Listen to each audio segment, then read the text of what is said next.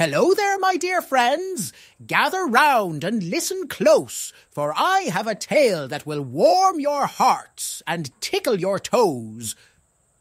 But before we begin this marvellous adventure, let me kindly ask for your support. Please like this video and subscribe to our channel so we can continue to share wonderful stories with you.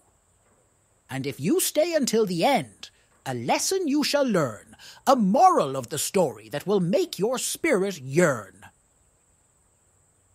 Now, let's embark on a journey through a garden so grand, where wonders and surprises await, just as I have planned. In this enchanted garden, where flowers bloom so bright, a curious little squirrel named Sprinkle took his first flight. Oh, how I long to soar up high like the birds in the sky, he exclaimed with a gleam in his eye. With determination in his heart, he scampered up a tree, ready to spread his newfound wings and finally be free. But as he jumped off the branch, fear filled him like a storm. What if I fall and get hurt? He began to transform. His dream of flying vanished like a morning fog. But then a wise owl hooted from a nearby log. Courage, young Sprinkle, is what you need to find. Believe in yourself, and soon you will leave the ground behind.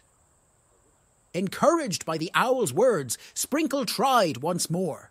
With every beat of his tiny wings, his spirits began to soar. I'm flying! I'm soaring! he shouted with glee. I never imagined this is what it would be.